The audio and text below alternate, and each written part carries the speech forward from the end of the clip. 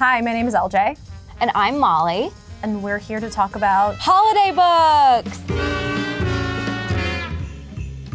Do you want to start? I am happy to. What are the holidays without a story from the border of hell? And this one has six of them. Oh, God. Oh, yeah, strap in. So, this book is fantastic because it actually scares me, and that's, all, that's very hard to do. that is not my ideal holiday read. I love heartwarming, hallmarky, cozy reads for the holidays. So I am bringing Noel Street by Richard Paul Evans.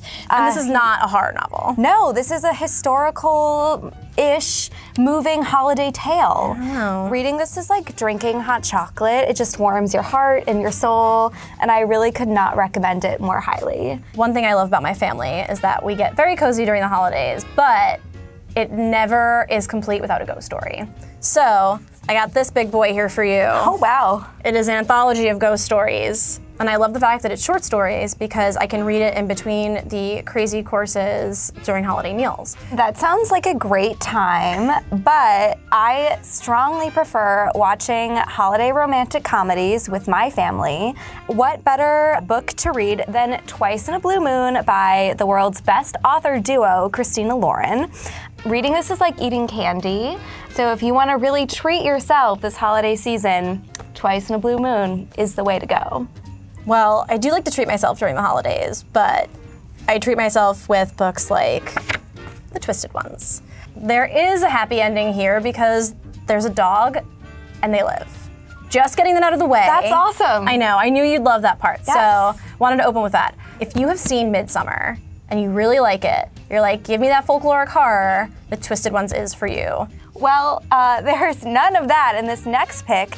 This is The Way I Heard It from Mike Rowe. This is based on Mike's podcast. It's series of common stories that everybody should know, but told in a very interesting and unique way that make you guess what the story is until the end.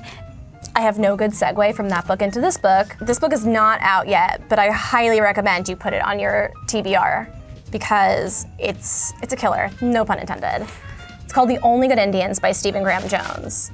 This book is one of my favorite horror books ever.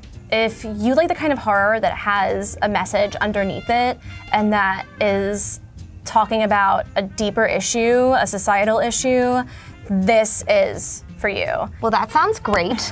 But uh, like LJ, I have a book that's not out yet, but it will be at the end of January. This is When We Were Vikings. It's fun, it's quirky, um, and this is really a great read to keep your spirits up as we leave the holidays and we enter Valentine's Day. All right, everyone, we want to know what you're reading this holiday season. What's your favorite book that you've read in 2019? What's your favorite book you're reading now? What are you taking home with you for the holidays? And are you Team LJ or Team Molly? Tell us in the comments.